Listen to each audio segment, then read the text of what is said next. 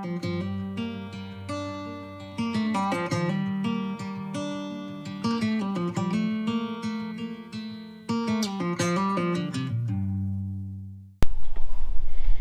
a pretty miserable, wet, windy day. Qantas is on box rest because you'll hurt your leg. Well, he's, we hope he has an abscess in the foot.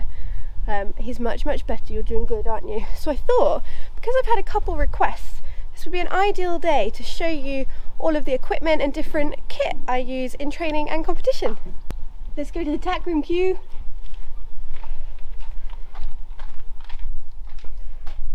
So welcome to my corner of the yard tack room. Um, I thought I'd start with my bridles, so just take one down. Um, I've got a mixture of Zilco and Pioneer Endurance. I'm it's mostly Pioneer um, Endurance now, and a mixture of the kind of the more shiny type, and also then we've got Qantas's, which is a much more matte.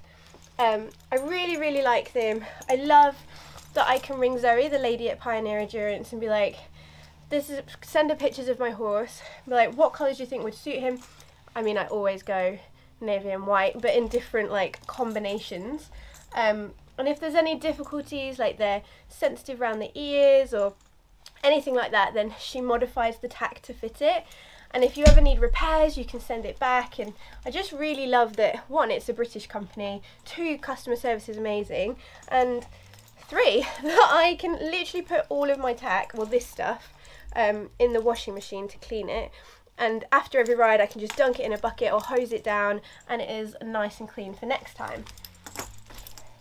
Next up are the types of bits I use. So I always use a Myler bit um, and this is just because I really like, because we spend a lot of hours um, with the tack on and in the saddle so I want something that's super comfortable and the Myler bits they have a like a low port so it gives a little bit of tongue relief and then it's got this roller in the middle so each side whether you kind of you're putting pressure on the rein one side it's only going to move that one side rather than if I kind of pull this side then the whole bit is going to move or if I pulled both reins it's not going to like scissor and clamp the tongue so it can't go any more than that.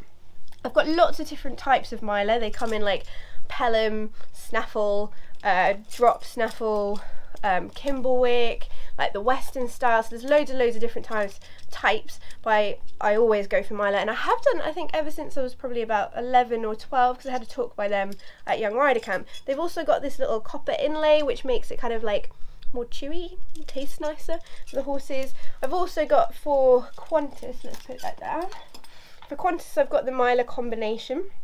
So it always looks a little bit kind of mental and maybe a little bit harsh, but actually the Myler combinations are actually one of the kind of softer bits that I have, but it distributes the pressure over the nose, under the curb chain and over the poll before you even get any pressure in the mouth. So as you pull, you've got all of that room before the bit even kicks in. So it's, it's mainly nose curb and pole pressure and I find with Qantas that works so much better. I get much more response and I don't feel like I'm hanging off his mouth all the time. So I really really like that. Um, they come in like short shank long shank and lots of different nose and curb options. So next up we have my saddles. All of my saddles are panel saddles um, and I will show you, I've got two different types. So the first one is a reactor panel saddle, um, but first of all, let's go through the gas. So I use the Steuben, Steuben, Steuben? That sounds like I'm saying it wrong. If I'm saying it wrong, I'm sorry. Um, the neoprene girth with elastic both ends and with the little D-ring. I don't like putting my um, breastplate kind of threaded through the girth because I think that's just a point of pressure that you don't need. So I really like to have the girth with the D-ring um, and the elastic sides. I just kind of like the fact that I know that research has come out that elastic girths are a little bit more unstable than non-elastic but I just feel like my horses are tacked up for so long it makes me feel like they can have a little bit more play in the girth system I don't know if that's true it's just how I feel about it um, but I also have girth sleeves um, because my ponies are very sensitive. And this, oh my gosh, this is the fluffiest girth sleeve I think ever. Um, so this is an Engel Nat Naturfell. Um, it's a sheepskin girth sleeve. Now I got given this by um, Glaze and Gordon. They were really really lovely to send me this to try, and oh my gosh, it's just so fluffy and it's it's so good and it's it's wearing quite well. Like you wouldn't even be able to tell. Um, and what I do is I like get a um, knife or a bit of scissors and along the seam just cut a tiny little hole so this D-ring can come through. So here are my Reactor Panel saddles. I have only had them for a year, 18 months now. Um, you'll see in a second the saddles that I've used previously but they're now out of production. I really, really enjoy them. I like that they're kind of traditional looking. Um, the company that make them, the Saddle Exchange guys, the Reactor Panel um, people are really good at coming out and fitting um, and doing any modifications you want and they'll even make you custom saddles and there are so many different kind of types from literally dressage to showing to um, like Spanish riding school ones, proper like lightweight endurance ones that don't have panels. This is just the GP. Um, I kind of like the cut.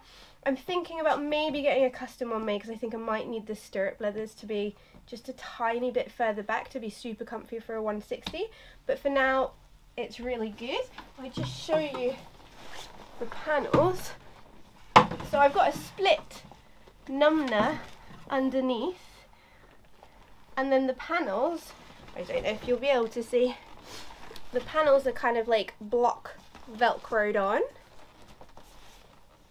Next up we have my stirrup leathers and stirrups. So I've only ridden really in, in two types. I've tried a few others, um, but not really got on with them, so I've I've not competed in them, but these are the two that I've done competitions in. So these are the podium cage stirrups. Some of the comfiest stirrups I've ever had. I've done many, many miles in them. And then my preferred ones at the moment, I've got very lucky to have two sets of these because Dan bought me some for my birthday as a spare, not a spare, to go on my third saddle um, is the Free Jumps Soft Up Pro. It's like riding on clouds, like there's so much security, my ankle feels really good, I love the safety feature that you can't get caught in it. Um, my foot never budges because of these little studs and I always thought when I looked at these studs that my um, boots might get ruined on the bottom but they don't seem to cause any undue wear. And then my stirrup leathers are these um, webbing core with like a, I think it's a fake leather. It might be a real leather, I'm not sure.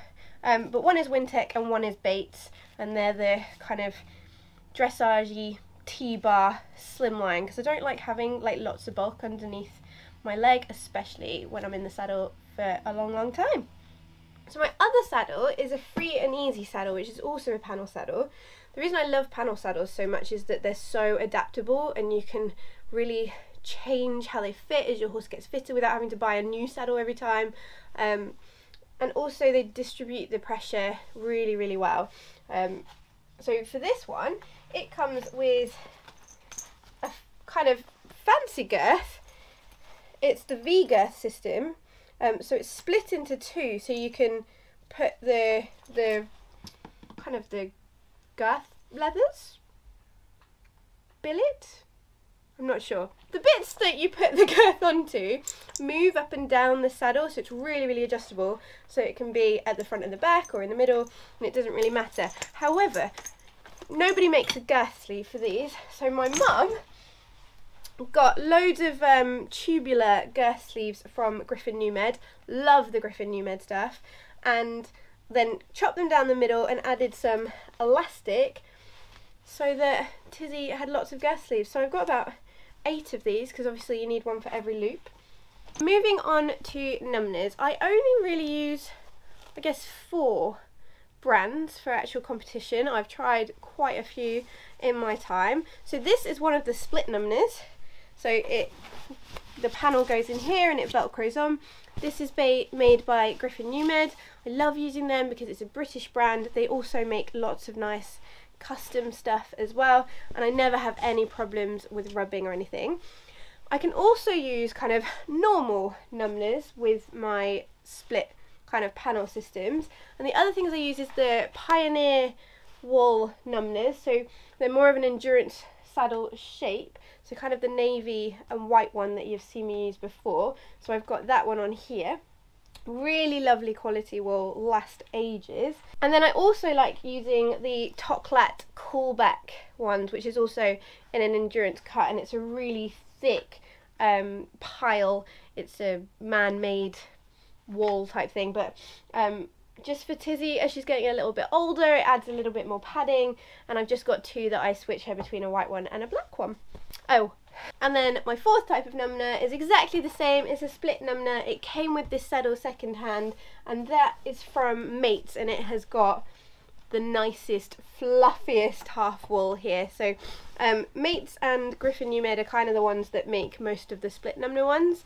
And then Pioneer Endurance make a really nice endurance numnah that isn't for split panel that I can kind of mix and match and use on anything.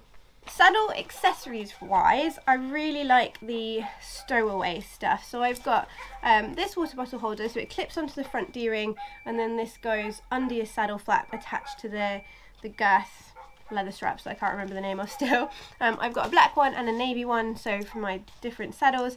I've also got like a little um, pannier saddle pack version. It's probably about this big that I put my spare hoof boot in if I know I'm not going to be able to see my crew out on course for a long time case I lose a shoe and that just goes on the back of my saddle ties down super nicely keeps me hydrated and you all know how I love hydration So next up, kind of what I wear for training, we'll go and have a little look at my competition stuff that I keep in the lorry in a little bit. Um, so I've got two sets of Roeckl, Roeckl, sorry again if I've butchered that, gloves. I've got my winter set, they're kind of the waterproof version, um, and then my summer set, they're a little bit more lightweight, though actually these ones are maybe a little bit hot for summer, so they're, they're really good for when it's not wet, but it's kind of normal temperatures. But when it's super hot and sunny I might need to get ones that are a little bit more vented. Um, but I just I love the brand. They last really long. They fit me really well. Top notch. Then for helmet I have an LAS XTB I think it is um, in the shiny navy blue. I really need to buy a new helmet. I've fallen off on this a couple of times and I know that once you fall you should buy a new one um, so I am on the lookout for a really lightweight helmet because this is super lightweight with the MIPS, so the kind of the brain injury protection system. I found the Back on Track Lynx one However, I'm a 53.5 head and their small goes up to 53 and their medium starts at 54. The 54 even tightest was too big and the small was too small so I had to send it back. But that anything like that would be perfect. So if you have any recommendations for a super lightweight navy helmet with the MIP system that I can train in because um, I've had a few concussions and I really want to look after my brain um, then please let me know pop it in the comments if I find one as well, I will let you know what I what I choose. But at the moment, I love the LS, LS helmets. I've been riding in these for a long, long time. I've had this version and the Anvil, um, and I really, really like them both. Really rate them super comfy. Boots wise, can you tell that I haven't actually cleaned anything for this? So you're seeing it in the flesh, how it is day to day. Um, boots wise, I just, I love the Ariat short boots. These are absolutely battered from falling off, being dragged along the road, wearing them every day. These are the Heritage 5 waterproof ones. I prefer just for ease of use the zip up ones for day-to-day riding, but my competition ones you'll see in a bit are um, lace up because they have a little bit more control I think, a little bit more ankle stability. I have had these for years and they're doing really well and it's only this year that they've lost their waterproofness so I'm going to get some new ones soon um, so that I can use those in winter. But I'll still use these in the summer um, when it's not absolutely pouring down because they've still got plenty of life in them yet. Now a lot of endurance riders, because in cage stirrups you don't need the heel, they'll ride in trainers and I did for a while, but I actually prefer having that ankle support. Um, and again, a lot of endurance riders don't wear chaps, they just wear socks, but I just can't do that because the inside of my calves gets super rubbed. Um, so I have got these custom made chaps from Intercure. I think they're a French brand.